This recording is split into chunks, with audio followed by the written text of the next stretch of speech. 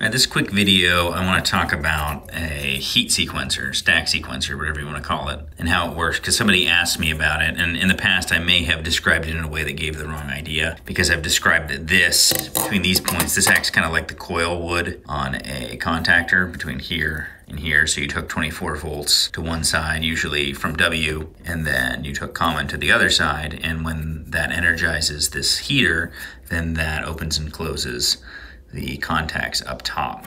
Let's go ahead and pull it apart so we can actually see what this looks like inside, and I think it'll answer a few questions about exactly what I'm talking about here.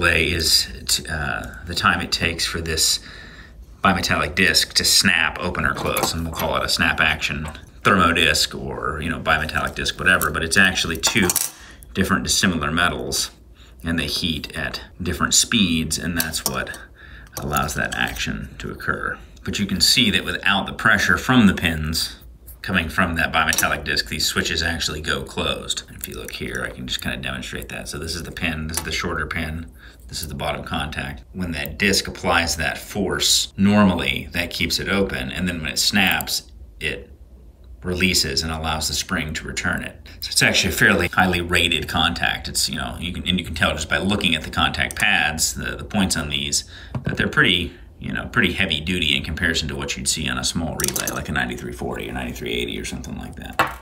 And that's why a sequencer can handle more current um, than a typical relay would. It's designed for that heat strip current. And because of the uh, heater, because it's a heater, not an electromagnet, there's a time delay, and that time delay comes in handy. Pins drive the contacts. I don't think it's going to live another day. All right. Thanks for watching. All right, so I missed this initially, but this is actually the thermo disc. So, and then this sits inside there. And that's the disc that actually pushes on the rods that then initially keeps them open. And then when that heats up, then it snaps in. So it, it kind of deflects, bows inward. And then that allows the contacts to close. It's heat that does it, not magnetism. So it's resistive, not inductive. You can see the bow in that thing. That's what snaps in and out as it heats up and cools down.